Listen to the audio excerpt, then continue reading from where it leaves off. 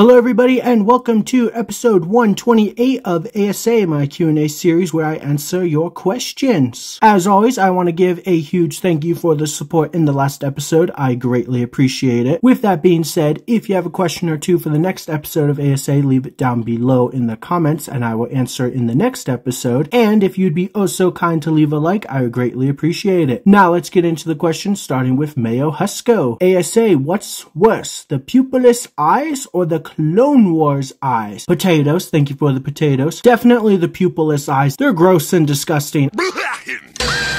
I don't mind the Clone Wars anime style eyes because though it's a little odd, I think it works and fits for the characters which are supposed to be based off the Clone Wars TV show. And I don't think it looks that bad. Next question is from Proj Forever ASA. What's your favorite minifigure from LEGO Star Wars? And also, which theme is better? 2002 to 2004 LEGO Spider-Man or 2006 to 2008 LEGO Batman? To be honest with you, I really just kind of don't care about any other LEGO theme but Star Star Wars, so I don't have an opinion on that with the Spider-Man and Batman. But I will say for the Lego Star Wars minifigure, I also don't really have a favorite minifigure. I think I'm gonna have to just pick from this year, and I'm gonna go with the Moff Gideon from the Paz Vizsla versus Moff Gideon battle. That's just a really cool minifigure, and I'm glad Lego finally made one. I thought he came with the dark saber though, which is funny, but he's really cool looking, and I love that like Beskar Mando Stormtrooper design armor. Like it's really cool looking. Next question is from Brick Able ASA. Why are you doing reviews only in short format? I would listen to your beautiful voice also on long reviews. Thank you for the compliment, dude. I appreciate that. I've had people over the years be like, your voice is so nice. Your voice is so soothing. I'm actually getting over a cold right now, so my voice is probably doing all kinds of weird things, but I appreciate the compliment. It's always nice to hear people say that my voice is nice. Now, to answer your question, not to say that I think my reviews are bad or anything, because I used to do full length, long reviews, sometimes like 10 minute videos. I've just learned over the years, it's just not worth the effort. I know this is kind of like a cheap answer because it's like, well, yeah, shorts are easier, but it's true. It's like all I had to do is make a video under a minute long. I don't have to add a thumbnail. I barely had to really do a description, even though I do. And the title's super easy, you know, it's less work and more payoff because then I actually get more views. And then also I like to add little funny things at the end of my shorts. So if you didn't know, and this is my favorite one that I did this year. It's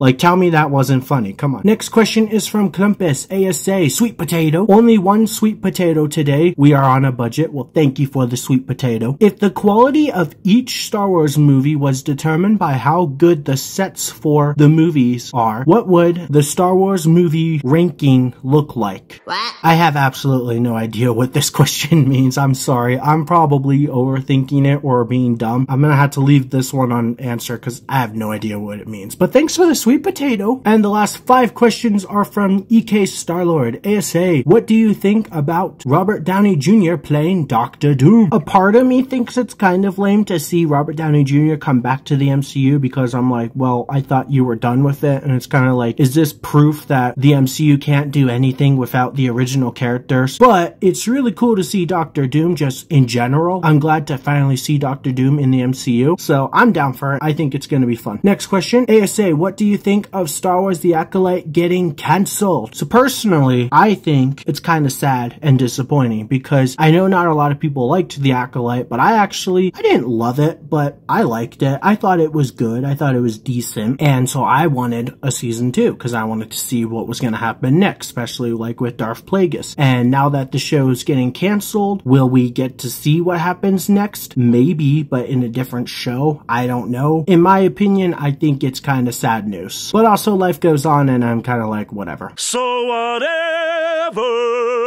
Next question. ASA, do you think the next Star Wars animated show should be a Captain Rex TV show? So I don't necessarily think that the next animated show should be about Captain Rex, but I will say a Captain Rex show, especially like if it's during the Bad Batch time, I think that'd be really cool to see and I, I actually would love that. Next question. ASA, are you excited for Marvel Studios Fantastic Four First Steps? Honestly, I'm not a fan of that title. It kind of makes me think of like like a kid, the baby's first steps. It's probably like an astronaut term or something, but it just makes me think of like a toddler walking for the first time. I'm excited for the movie a little. Like, I still like Marvel and the MCU, even though they've been kind of lame lately. I wouldn't go as far to say that I'm like over the moon excited about it, but new Fantastic Four. That sounds fun. And the last question from EK Starlord. ASA, have you seen Deadpool and Wolverine? If so, what did you think of it? Man, it was fantastic. It was a great, fun, awesome movie. It's nice to see Marvel come out with something good again, because it's been quite a while since we've had something good. I'm not going to go into too much detail. I also don't want to spoil it, but I'll just say I loved it. That's going to do it for today's episode of ASA, so thank you all very much for watching. I appreciate each and every one of you taking the time to watch and ask questions. If you have a question or two for the next episode, leave it down below in the comments. Like I said in the beginning of the episode, maybe leave a like. I would greatly appreciate it. Subscribe if you're not, blah, blah, blah. And the last thing I want to say is kind of like going to be like a little commercial. So here we go. Oh, do you like battle packs? Of course you do. Who doesn't like battle packs? If you're interested in checking out my battle pack playlist, my goal is to do a short review of every single battle pack ever made. I got quite a good bit on there right now. So if you're interested in checking it out, then yeah, check the cards or the description. Now I'll let you go. Have a wonderful day and I'll see you guys next time. Goodbye.